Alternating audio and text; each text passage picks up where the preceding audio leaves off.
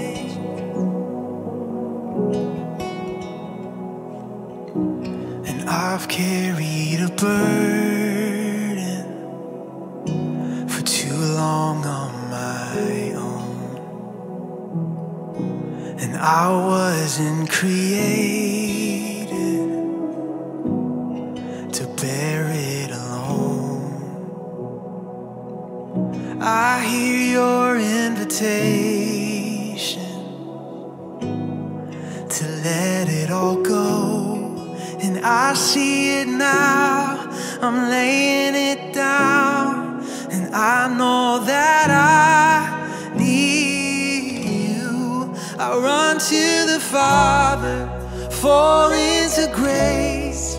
I'm done with the hiding, no reason to wait. My heart needs a surgeon, my soul needs a friend. So I run to the Father again and again. And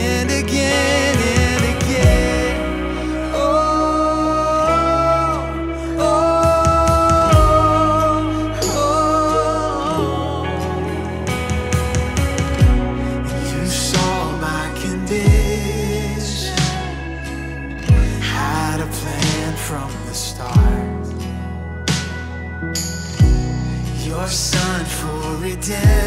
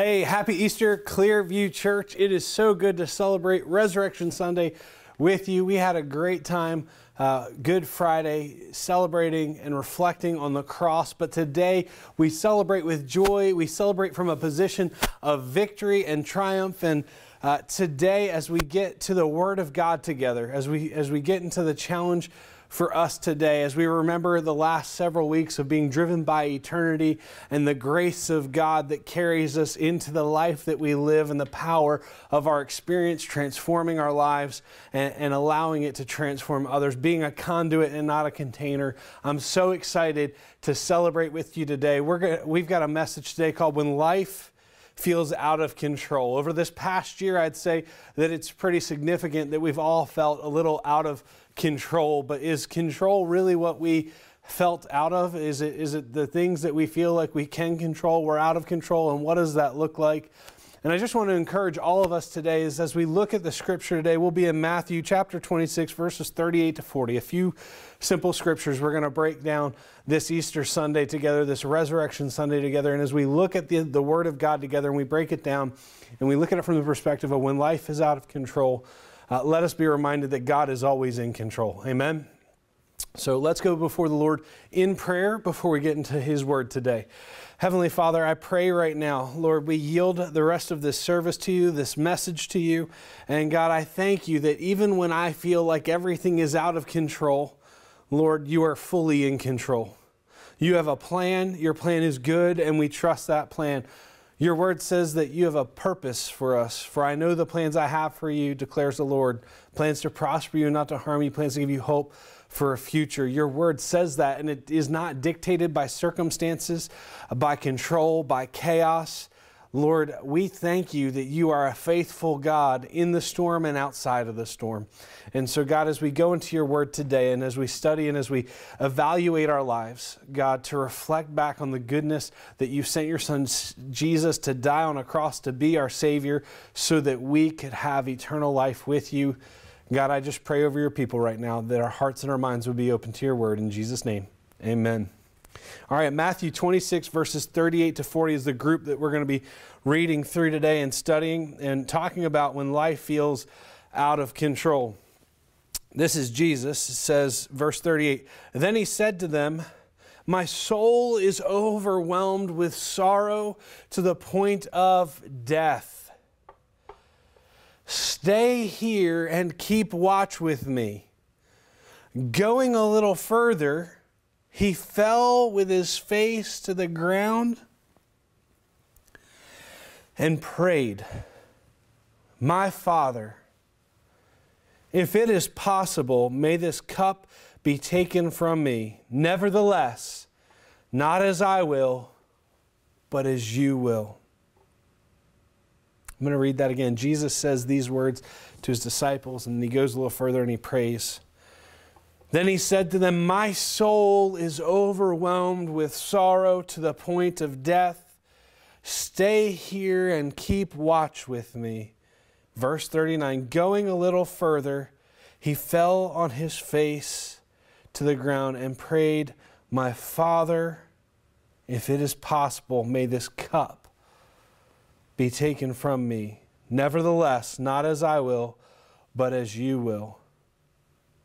God, nevertheless, not my will, but your will be done. Let that be the prayer of every one of us today.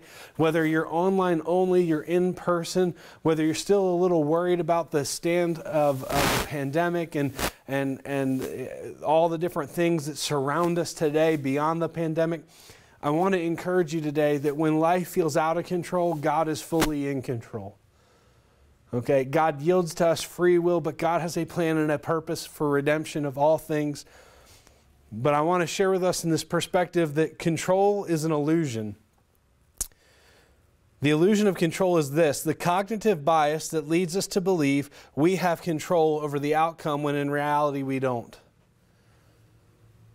It's the cognitive bias. It's our brain's way of saying we can control the outcome of something when in reality we don't.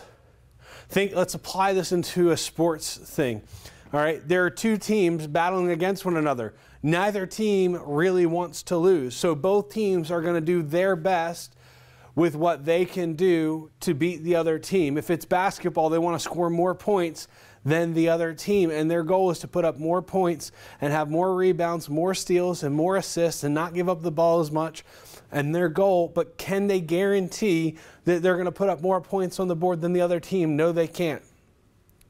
There are going to be certain things that are outside of their control. They cannot fully control the result of the game. They can just do their best and hope that that's good enough to beat the other team. All right. In life, we have a lot of circumstances and situations where we face them and we face them and we try to manipulate them and control them into what we feel should be the best result in the end. But at the end, we really need to do our best, right? We've heard it said, pray and do like it's 100% on you and and and pray like it's 100% on God. Do like it's 100% on you and pray like it's 100% on God. And allow God to grace the reality that we don't control the outcome, but rather God does. And we yield it to Him.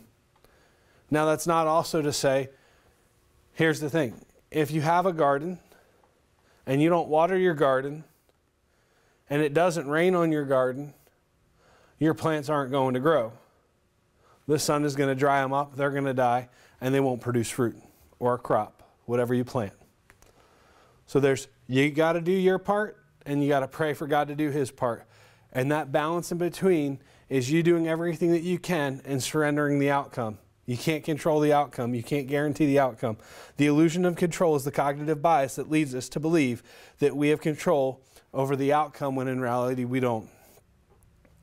What Jesus is saying in this prayer is, Father, if there's any way for you to redeem humanity, let me fill this cup for you. If there's any way for you to redeem humanity in any other possible way, to draw them back in relationship with us, let it be so. Nevertheless, not as I will, but as you will. Matthew 26, verse 42 says this He went away a second time and prayed, My Father, if it is possible for this cup to be taken away unless I drink it, may your will be done. So think about it. Jesus just doesn't go once and say, Lord, your will, not mine, all good, I'm out. Verse 42 He went away a second time and prayed, My Father, if it is possible for this cup to be taken away unless I drink it, may your will be done.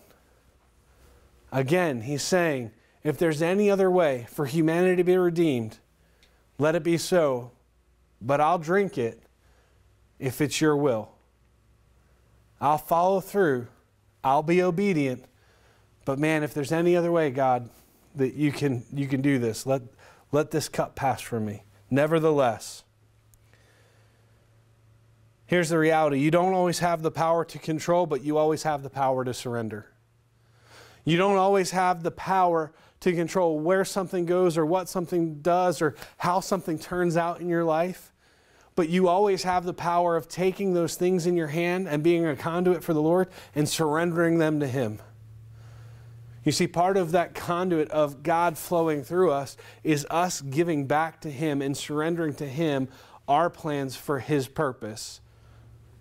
We say it often around Clearview we want to put up our preferences for God's purpose because God's purpose is the best thing for our life. We can make the plans and the preferences all we want and all we have for the life that we want to leave, lead and the legacy we want to leave, but in reality, the best thing for us to possibly do is simply say, Lord, not as I will, but as you will. On earth as it is in heaven, your will be done. On earth as it is in heaven. It's a prayer Jesus taught his disciples in Matthew chapter 6. Let us never forget to be a body of believers as we celebrate Resurrection Sunday, the pinnacle for the body of believers that allows us to have eternal life with God, right? The, the, the Bible says that how, how are we going to be saved? If we confess with our mouth that Jesus is Lord and we believe in our heart God raised him from the dead, you're saved. It's that simple. So we need to believe in our heart and celebrate Resurrection Sunday because it's the place where freedom is found. But when life feels out of control, you have to remember that you don't always have the power to control things. As a matter of fact, sometimes when we try to control things, we put too much pressure on them and we break them. Or we try to control things and we try to keep things from going all out. I, I challenge you to do this. All right? Go to the sink and let the water run and hold your hands out like this and try to keep the water from flowing into your drain. Don't plug the drain, okay? There's a way around it, I get it. But in your hands, try and stop all of the water from flowing down the sink and down your drain. You can't do it. You can't always control the water where it goes. You can't always control everything in life, but you can surrender it. And for me, the way that you would surrender it is you put that plug in there. But what happens when you put that plug in there? Eventually, it's going to overflow. So the real way is surrendering it is just allowing it to go through your pipes and make its way out. So I want to encourage you today that you don't always have the power to control, but you do always have the power to surrender. And in those moments where control becomes something that you get so frustrated with and you have it in your hands, remember it is better in God's hands than it is in your hands. Number one, God's will is rarely easy, but it's always good. God's will is rarely easy, but it's always good. Over the past four weeks, we've been on a journey driven by eternity, and it is the driving force for how we are to operate is in view of eternity that we live in this temporary body, but we've got a soul destined for eternity, and so does everybody else. And it's by the grace of God that we have the ability to share the truth with other people and love them the way that Jesus loved us. For the church to grow, for the kingdom to advance, people who've experienced grace need to help other people who haven't experienced grace experience the grace and love of Jesus Christ. The one who gave up his life on a cross and overcame the grave for who the Son has set free, he is free indeed. God's will is rarely easy, but it's always good. Even Jesus struggled with this in that prayer in the garden. God, Father, I'm grieving even until death right now. Father, let this cup pass from me. Nevertheless, not as I will, but your will be done. It's not always easy. God's will is rarely easy, but it's always good. For we are God's handiwork, and God has prepared good works for us to do. We, we read it a lot over the last four weeks of the fact that God is good and his works are good, and God has prepared a good plan for our lives. And those plans that he has for us are to prosper us and not to harm us, plans for hope and a future. When life seems out of control, sometimes it's going to feel a little hopeless, but maybe that's that moment we remember that He is our hope. He is the anchor for our soul. He is the fortress that we go running into. He is the cornerstone that holds the whole house together. The question is this What are you trying to control that you need to surrender? Take a moment of self reflection. Take a moment to recalibrate what's going on in life, what feels out of control, and what are the things that you're trying to control that you really need to surrender to the Lord. That you really need to you need to go on a little further. You need to have your circle and say, "Hey, keep praying over me." Go on a little further, fall on your face before the Lord and say, "God, I need your help with this." Maybe it's your marriage, maybe it's parenting, maybe it's your job, maybe it's a, a, relationship with a sibling or, or a family member. Maybe it's that you're struggling with addiction. Maybe there's all kinds of things that we can be going to the Lord with that we can be trying to control that are out of our control. And the greatest thing that we could do is surrender them. So, what are the things that you're trying to control that you need to surrender? Matthew 26 39 says this Going a little further, he fell with his face to the ground and prayed, My Father, if it is possible, may this cup be taken from me. Nevertheless, not as I will, but as you will. We've heard that scripture a bunch. He says it more than once. Real faith, point number two real faith starts between the if and the nevertheless. I preached this last year. Let us be nevertheless Christians.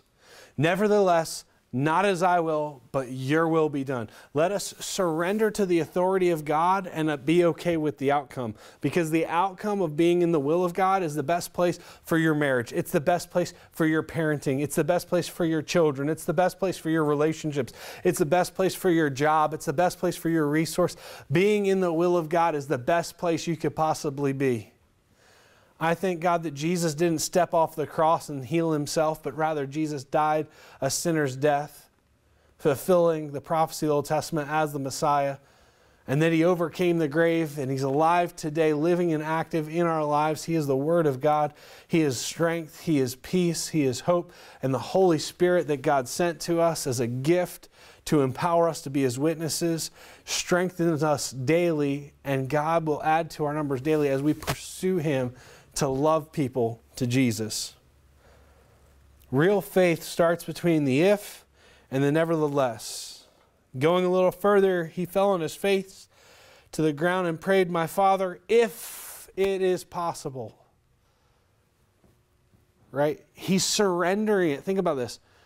The if and the then, uh, the if and the nevertheless are both surrendering. If it is possible, God, I surrender it to you. If it's possible, Father, to let this cup pass from me. Not, don't, don't let this happen, right? We often even try and control things with our prayers, making demands of the Lord. But if it's possible, God, if it's possible, Father, real faith starts between the if and the nevertheless. If it's possible, I surrender this to you. But nevertheless, not as I will, but as you will. Real faith starts between the if and the nevertheless, as exampled by Jesus in the Garden of Gethsemane. Matthew 10 39. If you cling to your life, you will lose it. But if you give up your life for me, you will find it. Matthew 10 39. If you, give, if you cling to your life, you will lose it. But if you give up your life for me, you'll find it. If you try to hold on to the temporary things here on the earth and we don't live in view of eternity, we're going to forfeit eternity. If we become so consumed with temporary consumerism, instead of being driven by eternal contribution, well, consumerism means I get to receive. Well, contribution means I get to give. And here's what I know I can't reap what I don't sow. If I'm so focused on what I can attain here on earth, I'm going to forfeit some things in heaven. But if I'm focused on eternal contribution, that means I'm focused on sowing things into eternity. What do we sow into eternity? People, lives. What do the harvesters get rewarded for? The harvesters get rewarded for people entering into an eternal relationship with Jesus Christ if you cling to your life, this one that you experience here on earth, this body one day will get laid to rest, and your soul has an eternal destination, either in hell, separate from Jesus and, and Father, or in eternity in the presence of Almighty God, worshiping Jesus with the saints. That's the choice. That's what you're building. That's the life you're building. Those are the decisions you're making. If you cling to your life, you will lose it. But if you give up your life, if I give up the temporary consumerism and status of things here on the earth for eternal contribution and I shift the way that I operate my resources, the, the people in my lives, the gifts, the talents, the abilities, the finances, and the things God's resourced in my life, and I switch it over into eternal contribution, I'm sowing and building the kingdom of God. And guess what? I don't have to buy it, I'm simply going to reap what I've sown. I give and I receive. I buy, I spend, I lose. If you cling to your life, you will lose it. But if you give up your life for me, you will find it.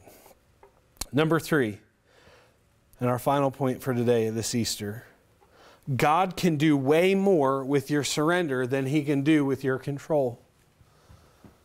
God can do way more with your surrender than he can do with your control. The greatest place for you to put the problems of your life, the victories of your life, your entire life is in the hands of God. Think about this. I have finite abilities. I'm on a stage, I'm speaking to you, I'm in a building, I can't see outside, I can't do outside. Yet God is all powerful, He is all present, and He is all knowing. So when I take my concerns and I hold them in my hands, the only place that these can be is at is at Clearview Church on Royalton Road on the corner of 82 and Boone, inside the sanctuary on the stage at a table with my hand speaking to you. But when I take my resource, the things I steward, and I give them to the Lord, the gifts, talents, abilities, relationships, finances, when I take all that I am and I surrender it to Him, guess what? It can carry beyond this water bottle. It carries beyond this table, beyond this stage, beyond this building, beyond this property, because I'm taking everything I have and giving it to Him. And when I surrender the things that I feel is out of control, the things that I'm struggling with that are out of control, it's amazing what God can do when I surrender them to Him. You see, because God has a plan. His plan is good, and you trust that plan. God can do way more with your surrender than He can do with your control. Because when you surrender to Him, it takes the things that you're trying to control and it gives the power of God, the all knowing, all powerful, and present everywhere God, the ability to work in your life. Ephesians 2:10 for we are God's handiwork. You are fearfully and wonderfully made and created in the image of God. And because of Jesus, you have the opportunity for a relationship with God. And because of Jesus dying on a cross and overcoming the grave, Heavenly Father sent Holy Spirit to empower you to live this life, a fruitful life. For the wages of sin is death, but the gift of God is eternal life. The enemy comes to steal, kill, and destroy, but Jesus came to give life and life to the full. I don't know about you, but I want to live the fullest life I can here on earth by filling heaven. I want to take the resources that I have, the situations I have, the struggles I have, the victories I have, and I want to surrender them because God can do far more with my surrender than He can do with my control. Because when I'm trying to control it, He can't have His hands on it. But man, when I surrender it to Him, He can do it when I sow into building his kingdom and seeing lives come to Jesus, when I, when I invite people to church, when I love on people in our community, when I love just because he first loved me, it changes the world around us because people don't just love people anymore. They don't just care for people anymore. They don't go out of their way anymore. It baffles me every time I hold the door open for somebody how shocked they are that somebody would look for somebody behind them to open the door to go into a store. That's the kind of world we live in. Let us shine the light of Jesus Christ everywhere we go through simple gestures, simple acts, and let us surrender the things that feel out of control because you're carrying a burden that wasn't meant for you to carry. Let us be reminded that God's will, God's will is rarely easy, but it's always good. Real faith starts between the if and the nevertheless.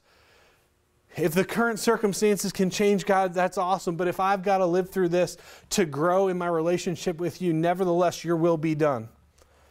And God can do far more. God can do way more with your surrender than He can with your control. Let us be a body of believers, remembering the cross and the empty tomb in a life that surrenders to the authority of God because when we make ourselves available, it says Jesus says to his disciples when he gathers with them up on the mountainside as he returns, and he says, All authority has been given to me on heaven and earth. Now go and make disciples of all nations. When we're not consumed with the things that are out of control, we can operate in the things that he does control, and we can be who he's called us to be. Matthew 6, he talks about don't worry about tomorrow, for tomorrow has enough worry of its own. So focus on today. So I want to encourage you if life has felt out of control for you, you need to surrender it to Jesus. Take your emotions out of it, take your process out of it, and just say, God, I need you to work in this. And if that means that He's got to work in your emotions, that's great. But take out all of your bias, all of your preference, all of your cognitive bias that you can control the outcome and step into reality that the best place that you can be is not in control at all, but totally surrendered to the will of God for your life. While it is rarely easy, it is always good. That faith journey, it starts between praying if the circumstances that I think need to change can change, and nevertheless, your will be done. And God will always do more and can do more when you surrender to Him instead of try to control. Let me pray over you today. Heavenly Father, I thank you for this day. I thank you this Resurrection Sunday that we celebrate that He is risen, Christ is alive, the Holy Spirit is empowering us today to be your church, to go and make disciples, to go and grow, to reach our community, to love people to your Son Jesus, and to experience light in the darkness, hope to the hopeless. God, I pray over your people that we'd be encouraged, uplifted, and empowered and challenged to grow in your word and to grow in relationship with you. In Jesus' name we pray. Amen.